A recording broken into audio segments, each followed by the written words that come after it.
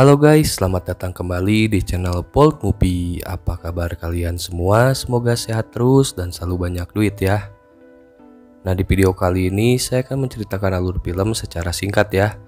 Nah judulnya Bright Days Ahead yang rilis di tahun 2013. Nah film ini mengisahkan seorang mama gurih yang udah cukup tua tapi dia bucin banget kepada guru kursus komputer yang usianya jauh lebih muda darinya. Hmm, Nah bagaimana kisah selanjutnya? Tapi sebelum masuk ke alur filmnya jangan lupa subscribe terlebih dahulu agar tidak ketinggalan alur film menarik lainnya. Nah nanti kalau yang mau download atau streaming saya akan kasih linknya di telegram dan link telegram ada di deskripsi oke? Okay? Oke kalau begitu nggak perlu berlama-lama lagi kita langsung saja masuk ke alur filmnya. Let's go!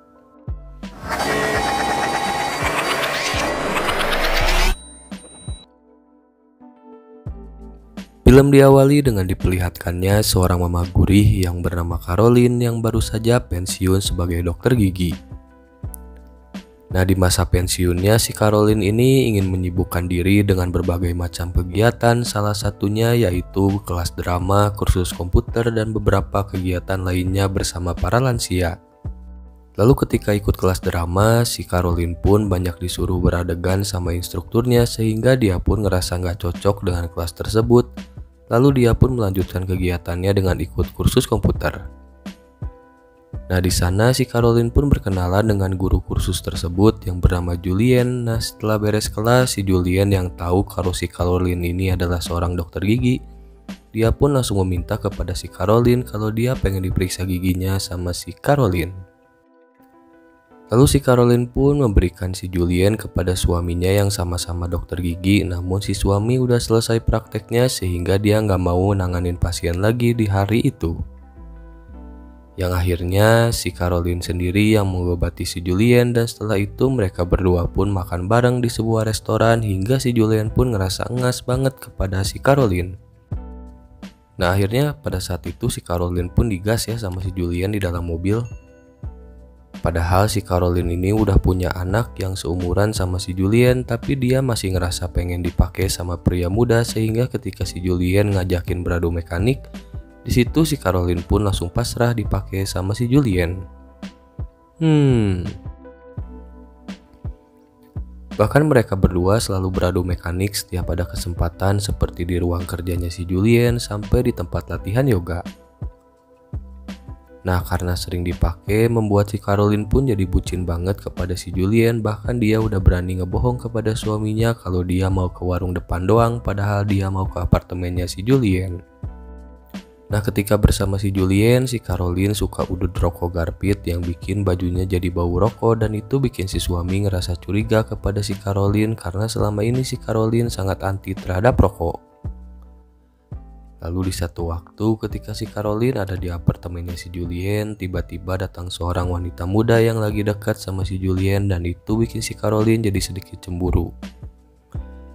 Namun dia sadar kalau si Julien lebih pantas dengan wanita yang seusianya dibandingkan dirinya yang udah tua dan juga sudah bersuami.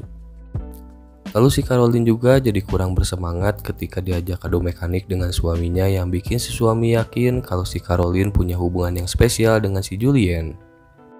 Nah setelah itu si Caroline pun langsung bilang kepada si Julien kalau suaminya udah tahu hubungan mereka yang membuat mereka berdua pun harus jaga jarak dulu sementara.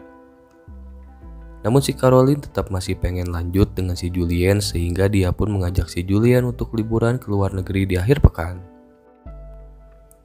Nah, si Caroline beralasan kepada suaminya kalau dia berangkat bersama ibu-ibu yang suka ikut yoga, namun si suami tetap tidak percaya sehingga membuatnya merasa kecewa banget dan langsung pergi meninggalkan rumah. Lalu si Caroline pun tetap melanjutkan perjalanannya ke Islandia bersama si Julien, namun si Caroline terus-menerus kepikiran suaminya.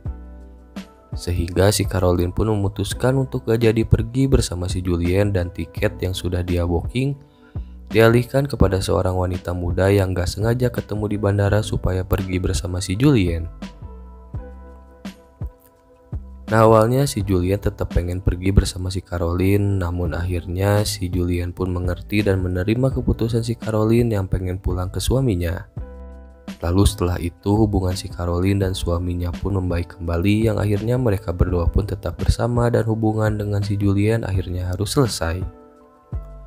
Dan akhirnya film pun berakhir. Oke, segitu dulu alur cerita film Bright Days Ahead 2013 kali ini. Terima kasih bagi yang sudah menonton dan mohon maaf atas kekurangannya. Jangan lupa subscribe, like, share, dan juga komen jika filmnya ingin kita review. Nah pesan dari film ini adalah jangan pernah melakukan perselingkuhan ya guys. Karena bisa membuat rumah tangga jadi retak dan juga membuat semuanya menjadi kacau. Jadi lebih baik hidup lurus-lurus saja ya guys biar lebih tenang. Nah, jadi segitu dulu aja. Sampai jumpa di video selanjutnya. See you next time and bye bye.